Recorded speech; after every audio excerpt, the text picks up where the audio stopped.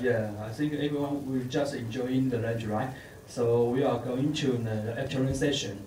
This session will be honored to invite Microsoft, the, the software engineer, to, in, to share us about the current usage for machine learning in the industry. Thanks, warm welcome to the Cool. Thank you for joining my session. Um, so in this session, uh, it's going to be, oh, do I need to use a mic? So um, I think this session is going to be more informal because um, I'm not going to I'm not going to show you a lot of slides, but then I will be doing a little bit on uh, some use case sharing. Yeah, so uh, I'm a software engineer uh, at Microsoft. Um, so my day-to-day -day work is working uh, uh, alongside with uh, our customers, doing coding on um, different pilot projects and POC on AI and machine learning, IoT, stuff like that. So um, I don't know if you uh, attended my previous session. So in, the, in my previous session, I covered a little bit on um, uh, our Azure Machine Learning SDK, which is um, uh, publicly available uh, right now, and it's generally available next month. And you can leverage this SDK to do end-to-end -end ML scenario. So when if you are a data scientist or if you are working on um, data analytical stuff, um, I would say this SDK will benefit a lot in terms of the um, basically in terms of um, doing optimization, doing data pre-processing, um, data crunching. So um, all these kind of scenarios, this SDK will be able to help you with that. So um, just a very quick recap on our machine learning pipeline and also uh, the overall service um, that we provide uh, for you guys. So first of all, um, uh, I don't know if any of you are new new to Azure. Um, so we have a bunch of um, data stores. So we have unstructured, structured, and graph uh, storage for you to choose. And of course, your data set can be on premises, so you can, you can have your data stored locally. Um, and then we have uh, in ingestion pipeline for you to um, ingest any data from any data source that you have. And then uh, we have a bunch of tools. Um, for example, the SDK that I've mentioned to do data preparation, say normalization, transformation, visualization, etc.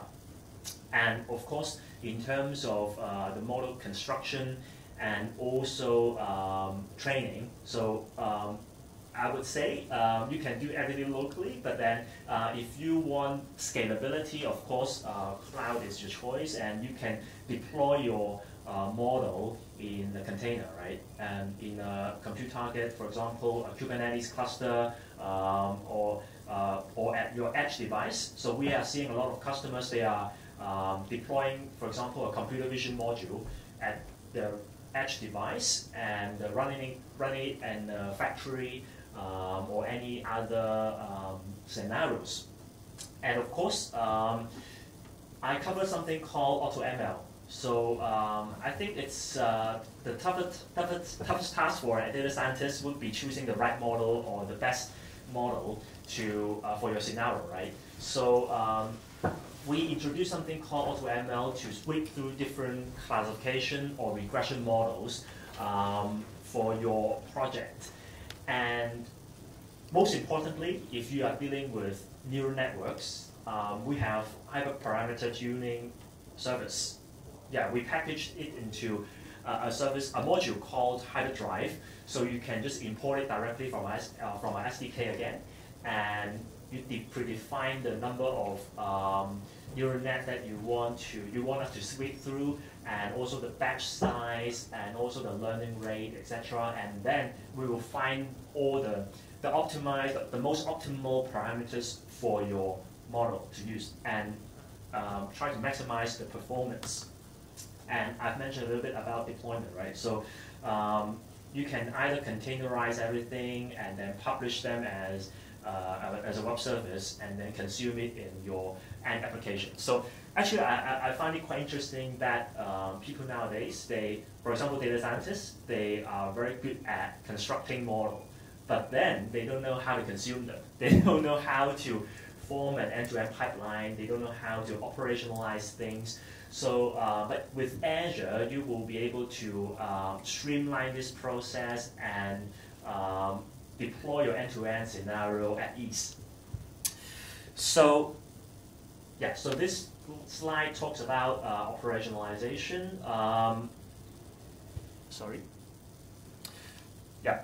So basically, um, in terms of the um, the overall deployment, um, I mentioned about the SDK, right? Another core concept is the workspace, where we uh, package all the um, applications, the services together into a single panel for you to uh, manipulate and for you to um, go through step by step um, your end-to-end uh, process like data preprocessing, um, image management, model management, deployments, etc. So you can do everything uh, through the um, ML workspace. But I'm not gonna do any demo around this um, in this session. So that's gonna be my second last slide. So it's um, this is just a brief overview on how um, your end-to-end -end ML scenario would look like. So um, you will see there is um, model registration there, and then um, your image registry, oops, and also uh, model deployments and monitoring. Um, right. This is the, last slide. So um, I don't know if you uh, if you guys have been using uh, a GPU power machines. Can you see a show of hands if you are using like GPU power machines to to do like model training? A few, okay. Yeah. So um, nowadays we work with Intel on um, um, using FPGA to uh, even enhancing the uh, your speed to shorten your training time and um, and also we are using the ASIC chip uh, if you are talking about IoT edge device, etc. So um, typically people will use a CPU machine for um, some simple training. For example, if you are using scikit-learn library, I think CPU is fine. But when you are talk, uh, but when we're talking about TensorFlow neural net, then probably you might need a GPU power machine. And for heavy duty workload, then of course um, you can use our uh, FPGA powered platform to shorten your training time. And also the ASIC chip, um, if you are using, if you are dealing with um, uh, your edge device, and uh, we are we are seeing lots of company they are now deploying um, machine learning images uh, into the edge device in the factory to do all sort of uh, predictive maintenance, um, fraud detection, anomaly detection, etc. So um, the next thing I'm going to show you is um, a developer blog. So I am coming from a department called Commercial Software Engineering, and uh, we work, uh, basically we code with our partners and customers on different projects on different topics, and uh, usually by the end of the sprint, uh, we will be writing up uh, case studies on each of the project that uh, we were involved in, and we will publish them into this website called the uh, developer blog. Um, so you see all the code stories available available right here, and um, and most of these uh, code stories will include. We'll try our best to include the source code as well. Yeah, because uh, we try to open source everything. Of course, not the confidential data from customers, right? But then uh, we try to open source stuff um, for all the developers um, to uh, to see. And but of course, this session I will be talking a little bit more about some of the um, machine learning projects and deep learning projects um, for you guys, because I think most of you are Python developers, right? Um, so in terms of uh, deep learning, um, or object detection, um, we are seeing a trend that uh, nowadays customers want us to not just detecting objects, but they want to do image segmentation as well. And so uh, I think previously uh, there is a trend on uh, doing image classification, object detection. But nowadays they really want to be more precise and uh, ask us to segment out um, the objects out of the um, images. So um, for this particular, scenario, uh, we are talking about like doing bird detection here, and um, we have our out-of-the-box uh, labeling tool called uh, VOTT, Visual Object Tagging Tool. Um, or you are maybe you are using a similar tool called uh, LabelImg. So I think uh, they are more or less similar. But then for this uh, VOTT tool, uh, you'll be able to export all your tags, all the, the text uh, in YOLO format or TensorFlow format or uh, our CNTK Cognitive Toolkit format. So Cognitive Toolkit is our our own um, deep learning framework. Um, so uh, developed by Microsoft and it's all open source as well.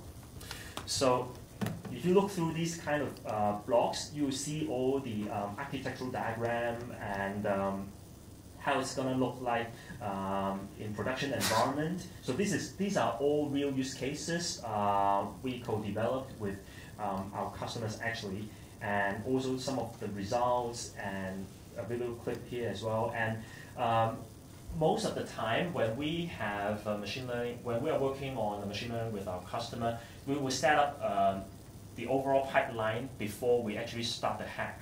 So what I meant by that is, um, for example, if um, they want to do uh, hardcore training, then we might need a GPU powered machine, a GPU powered virtual machine to help us with that. Or if they are just doing some lightweight testing, then um, the stuff that I introduced um, earlier in, in, my previous session. So for example, Azure Notebook uh, would be uh, suitable for them. Um,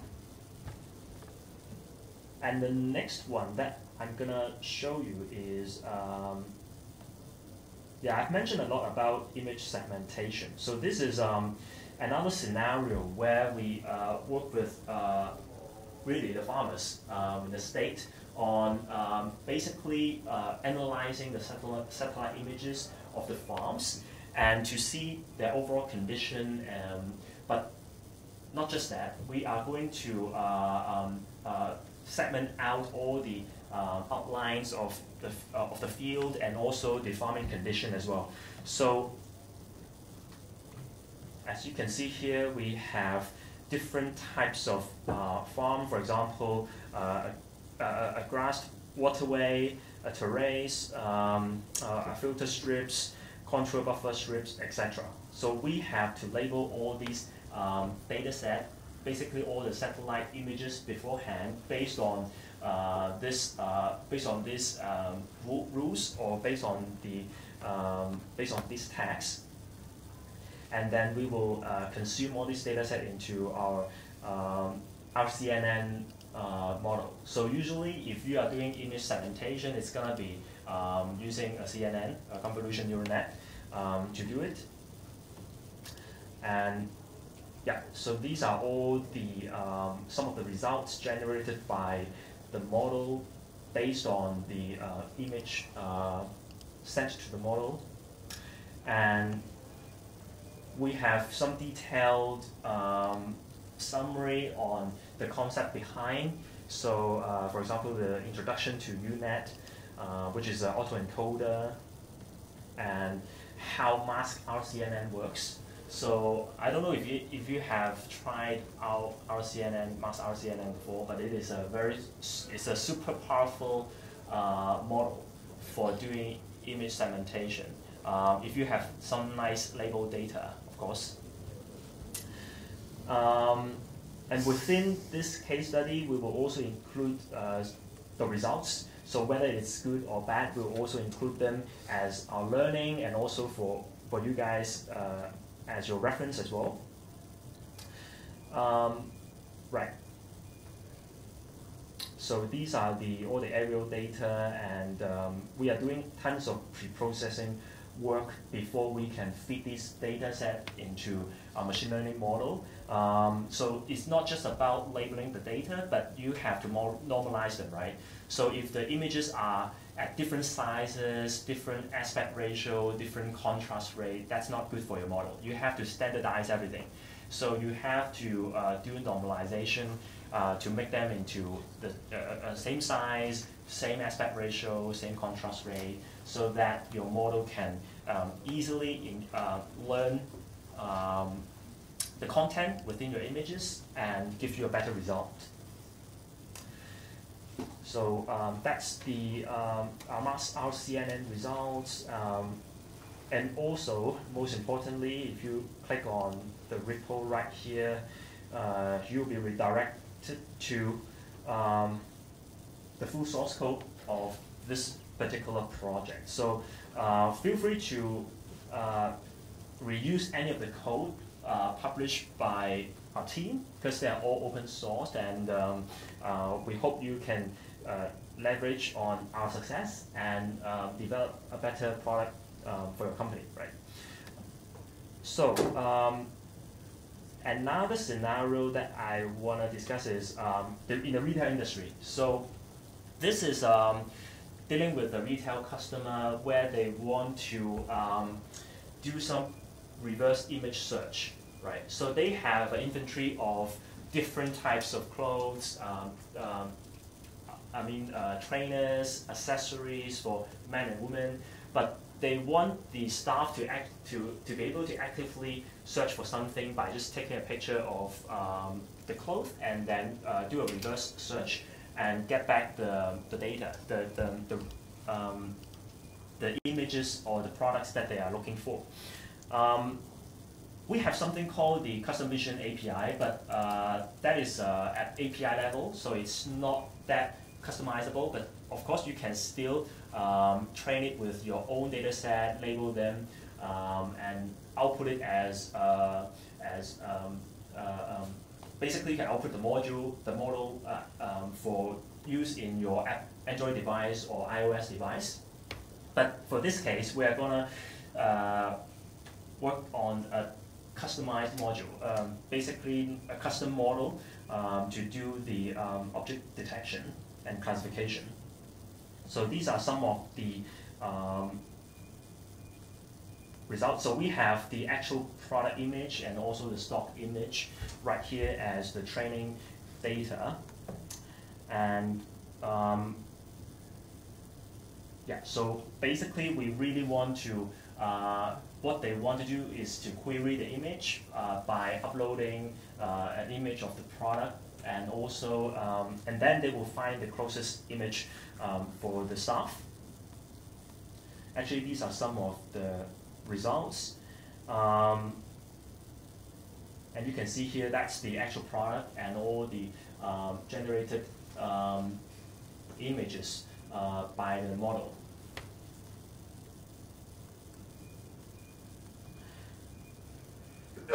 And we have um, the results and some of the, um, even if even if it is not good, we will still um, include them right here. And also, um, as you can see, we are just um, traversing through different uh, models, some PCA models, some um, JST models, etc., etc., and find the best uh, best one for image retrieval.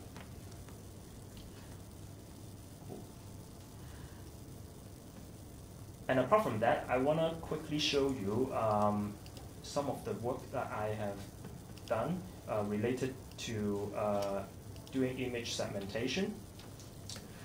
So actually, I'm working closely with a customer, a chemical uh, manufacturer, on uh, a project which is to uh, streamline the quality check process. So they are manufacturing a lot of paints uh, products. And uh, if you want to uh, see whether the paint product that you are manufacturing is uh, good or bad, then you have to uh, try to look at the microscopic view of this of these paints and see um, how dense it is. For example, the number of bubbles uh, per image, and also you want to really precisely segment out each of the intact bubble and also the area and the, uh, and the center, uh, center position. So um, the, the overall um, quality checking process is very tedious if it is done by uh, human being, right? So you have to look into images one by one and try to see if the bubbles are intact. But then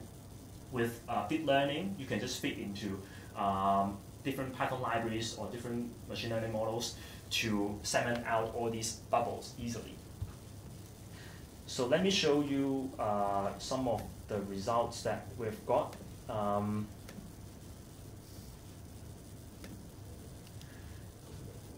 So actually, we are using a very powerful Python library and running it on the um, our Azure notebook. Um, so it's called the Watershed library. Yeah. So Watershed library is uh, being widely used. Um, yeah, being widely used in uh, image segmentation project and pre-processing projects. So these are the um, so this is actually the uh, raw data that we feed into model and we are applying the uh, watershed library, so it is, a, it is included in OpenCV actually. So um, we are directly applying the, um, this OpenCV library uh, onto the data and try to segment out um, the bubbles. And um, we are doing a lot of thresholding to make it to make the contrast uh, much more prominent and um, and this is done by using the scikit image. So uh, there are two versions of this watershed library. So one is available in um, OpenCV and another one is available in Scikit image library. And yeah, just want to briefly show you how easy it is. You can do some lightweight um, data preprocessing and model training within the Azure Notebook. yeah, so I'm doing a lot of um, thresholding work and using the uh, finding the contour. So uh, meaning that I'm doing something called edge detection, right? So we have to uh, understand the picture, so allow the model to understand the picture by learning uh, what is regarded as a proper edge or, or prop, uh, or which of the bubbles are, are actually not regarded as an intact bubble. So we have to uh, do all sort of labeling um, before we can um, actually operationalize our model. And um, let me go back to my developer blog here. Yep, and another most common scenario in terms of uh, deep learning or machine learning is um, OCR. So um, optic character recognition. So we have uh, an API called uh, Computer Vision API, which includes uh, OCR capability. And the V2 version, the version 2 version is actually quite good. Um, so it's, it's able to detect all kinds of uh, even very ugly handwritten uh, materials and documents um, with um, at a very high accuracy. Um, so we so this scenario is um, actually working with EY Ernst and Young on extracting most important um, information from different contracts and different documents. So as you can see, uh, usually in terms of an OCR scenario, you will have a standard uh, template or of the document that you are going to be analyzing and you have fields uh, that are handwritten one or you have the printed data on the document as well.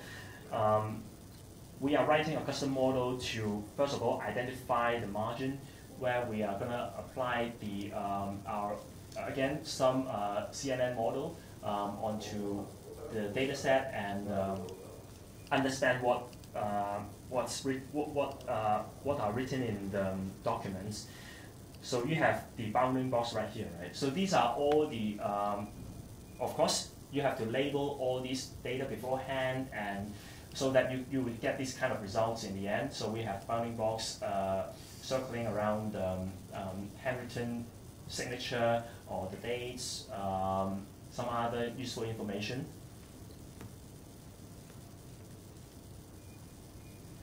And um, yeah, so it's your choice on whether you want to use the out-of-the-box API or you build a custom model like this. But usually, if you are dealing with uh, very messy templates, so you don't actually have a standard format uh, uh, uh for your documents, then you will have to build a custom model um, to do the um, character detection rather than uh, using our out-of-the-box OCR API.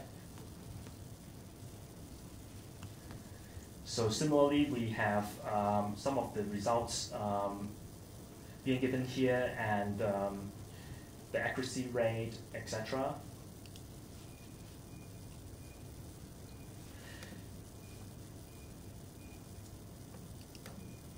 Yeah, and also I want to mention another scenario in the uh, manufacturing domain. So um, usually uh, if there is a leakage in uh, pipes underground, then uh, you will have engineers actually listening to the, the audio clips of those, um, of those pipes, like the sound generated by those pipes, and detect those an anomaly. But uh, these days, uh, people are trying to use uh, deep learning to um, understand the image of the leakage. What I meant by le image of the leakage is that um, we actually have the video, the audio clip here, right? Um, we are applying uh, Fourier transform um, onto this audio clip to make a, so, so that we can convert it into uh, visualized um, data. And again, we are, you can see there are a lot of spikes, right? So we are labeling the spikes which indicates there is a leakage in the pipe. Yeah. And actually there is a sample leak audio right here. And this is after fast Fourier transform. So this is dealing with uh, digital signal processing. And again, we are choosing a CNN model to analyze um, the data here and um, and also we have um, some source code for your reference as well. So um, for this example, we are using our own uh, deep learning model toolkit called uh, Cognitive Toolkit CNTK. But uh, nowadays, I think most of the customers, they use TensorFlow um, or YOLO uh, in terms of uh, if they are doing image classification or object detection. Um, yeah. And I would also like to share another scenario that I worked on um, last year in Redmond. So basically, we are trying to convert all the um, police sketches into realistic images, right? So uh, we actually got this data set from CUHK. So they actually asked um, some professionals, um, sketches to do all the um, hand sketches of the, of the staff and students. And um, the middle corner, right, I think the rightmost corner is the um, actual image of that person. And the middle column is actually the, the result generated by our deep learning model. So, um, so we worked on different types of people. So we worked on celebrity data as well. So this is the um, first version. So we basically scrape all the um, celebrity images and um, from the web. And the leftmost corner, this is not um, hand sketches. These are actually machine-generated images because we don't have uh, that manpower to to create so much hand sketches like uh, what CUHK did. So we are applying some um, edge detection algorithm um, to basically uh, form all the edges um, of the original image. So this is done when we have uh, limited amount of data set. But after, um, after, we, after getting more data, you will see um, the result is quite good.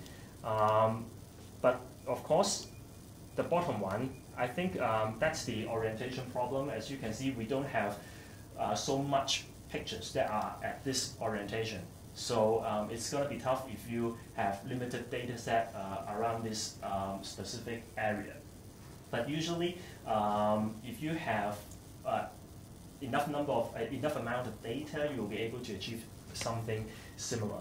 And for this project, we also open source our source code on uh, GitHub as well. So um, yeah, so this is the repository for this uh, particular project. And um, yeah, you can actually follow my GitHub for any other future projects that I'm working on. I'll try my best to publish everything on my GitHub. So my GitHub name is uh, T-I-K-Y-A-U. Yeah, you can just um, follow me on GitHub and um, you'll see what projects I'm currently working on. And lastly, I think I want to mention a little bit about um, NLP because just now I mentioned a lot about um, deep learning and machine learning on uh, doing um, image processing, right? Right. So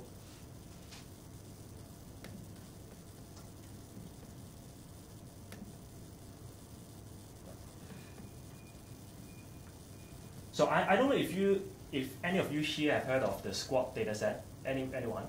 Do you know the SQuAD dataset? No. One of you. Okay, cool. So this is the um, standard question answering dataset. Um, so actually this is kind of like a competition between different uh, tech giant company or different vendors or different research centers around the world. So they are working on this SQuAD data set, which, is, which are all coming from Wikipedia. So we uh, extract all the uh, articles from Wikipedia and label them. Um, and then we are asking the public to uh, work on it. And so if we have a question uh, that are coming from um, this SQuAD data set, your model should be able to answer it, right? So this is talking about uh, machine comprehension. So reading comprehension by the computer. So understanding the context of uh, the, the, data and being able to answer the question. So I think right now our, our rank, uh, our position dropped a little bit. So we are now at, um, where is it? Oh, I can't find Microsoft. Oh, we're at number eight, position eight. So I think um, yeah, I think Google is leading, and there are a bunch of uh, companies in China. They are doing very well. So Alibaba is on uh, is at the eighth, uh, fifth position. Um, yeah, so we are on the eighth now. I think re I remember last month when I checked this, we are we're at the very top, like the second position or something. But I think we haven't published our result yet. And um, when you click on the Explore 2.0 here, you will see uh, they actually uh, publish our uh, results here. So Microsoft Research Asia, so which is based in um, Beijing, and also there's another one in Shanghai coming up soon. And you can choose whatever topic.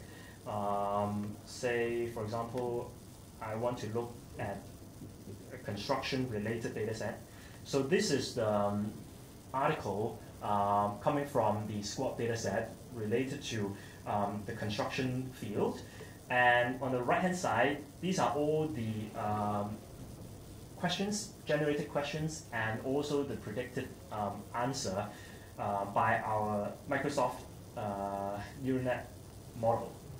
So yeah, I mean, it's quite powerful, right? Right? It's not just because um, when we talk about NLP, it's more like oh, we are gonna extract the intent or the uh, or the entities from uh, some content and that's it. But actually, it's not. Uh, we are talking about machine comprehension, actively generating answers to different questions if you have a large amount of uh, training data.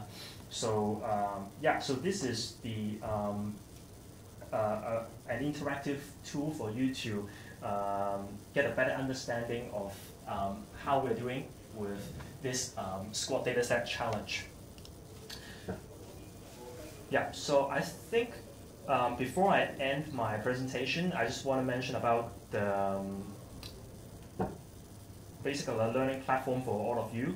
So if you uh, didn't attend my previous session, so um, we have a very interactive platform, learning platform for everyone for free. Um, it's uh, role-based and hands-on, doing hands-on training, um, trying out our different services available on, on Azure. So we have a built-in code editor uh, within your browser, so you don't need to install um, anything. Um, and it's kind of like uh, playing games. So you unlock challenges when we uh, when you finish an exercise, and you will be uh, earning a badge as well after you complete a challenge. Um, some of the most some of the interesting uh, modules include like oh you can work on neural net with TensorFlow on our data science virtual machine. Um, or you can, if you attended my previous session, it's on um, Azure Notebooks. So you can, you will have a chance to um, work on a project with um, the Azure Notebook, Jupyter Notebook, or in a Docker container, uh, or using the PyTorch library, all built in within our machine uh, data science virtual machine. and you can just scan this QR code um, to access to the uh, learning platform and um, and also you can visit our booth outside if you want to know more about um, about this. So any questions related to my speech today?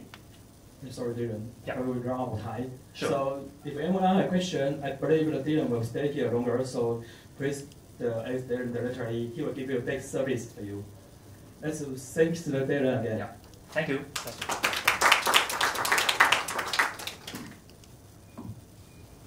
So where's the next speaker? Eh, eh, Ed, Arnold, Arnold, Arnold.